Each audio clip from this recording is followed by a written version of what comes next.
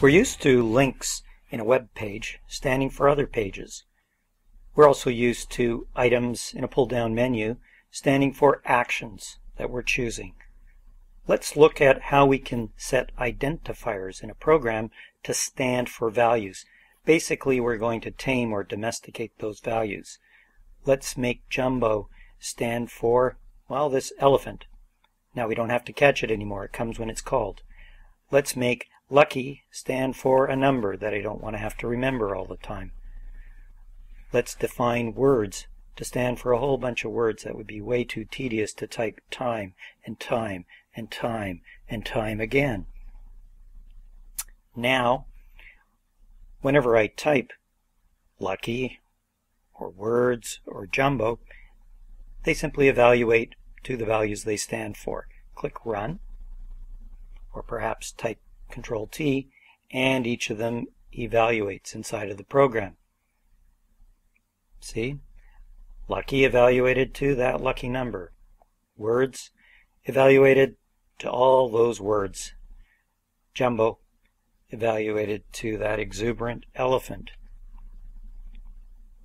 There's another way of looking at this evaluation process, and we can do this in intermediate student with Lambda language.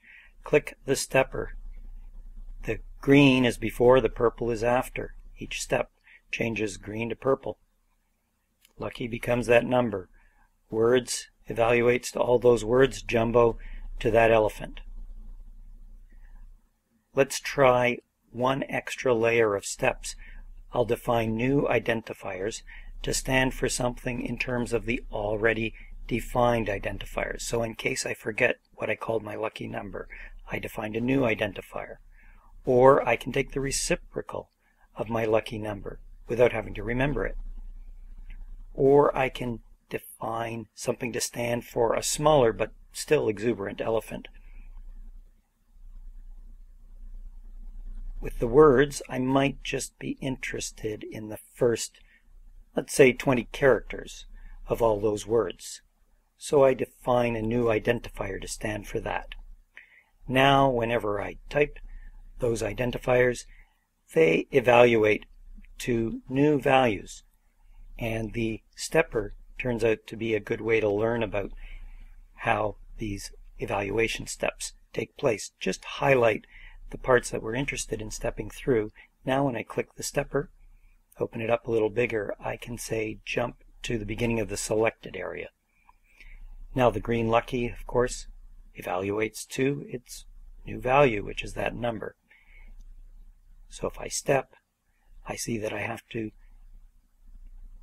evaluate a new lucky to that number and then 1 over that lucky. Jumbo evaluates to that elephant. So if I step, it looks like I have to evaluate that expression, which is a smaller elephant. That's what small jumbo stands for. Opening words, we first evaluate what words itself is, and now we evaluate the substring expression, and it's just the first 20 characters.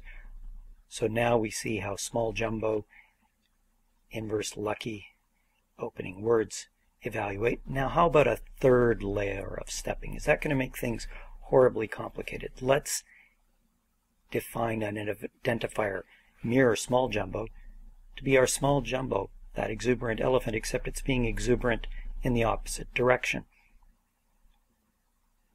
So again, when I type mirror small jumbo, it's going to evaluate to a new value. Let's highlight it, click on the stepper, and again, we're going to save ourselves time by jumping to the beginning of the selected area. So small jumbo should evaluate to that small elephant. But I'm going to need to click first to make it take that step. And now flip horizontal of that small elephant, that tells us the final value of mirror small jumbo. So that's how these defined identifiers work, and if I click run, they all evaluate to their values.